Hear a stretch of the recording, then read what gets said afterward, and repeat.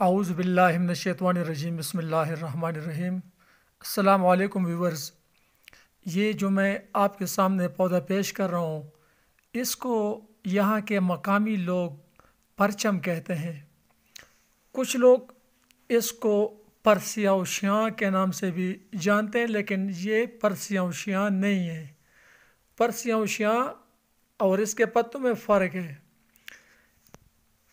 اس کا طبی نام تو یہاں نہیں پتہ، لیکن یہاں کے مقامی لوگ اس کو پرچم کے نام سے پکارتے ہیں اور یہ شوگر کا علاج ہے۔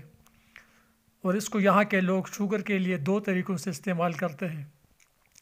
اس کو چھاؤں میں سکھا کے پھر تھوڑا سا اس کا پاؤڈر لے کر ایک گلاس پانی میں ابال کے ہلکی آنچ پہ جب آدھا پانی جل جائے اور آدھا پانی رہ جائے تو صبح شام وہ پانی ایک ایک کپ پلانے سے شوگر بہت حد تک کنٹرول ہو جاتا ہے۔ یہاں کے پہاڑوں کے لوگوں کا یہ معمول ہے اور مجرب ہے۔ اس کے علاوہ اس کو چھاؤں میں سکھا کر، اس کا پاؤڈر بنا کر صبح شام پانی کے ساتھ اس کا سفوپ لینے سے بھی شوگر کو بہت آرام مل جاتا ہے۔ اگر ویڈیو پسند آئے تو پلیز لائک اور شیئر کریں۔ السلام علیکم۔